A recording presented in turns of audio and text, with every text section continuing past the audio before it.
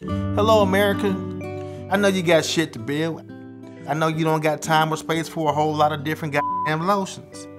There's work to be done, people, but I still need you to take care of your skin. That's why you should use me, Bloody Knuckles Hand Repair by Duke Cannon. I'll help heal your skin, but I also don't smell like flowers or baby powder.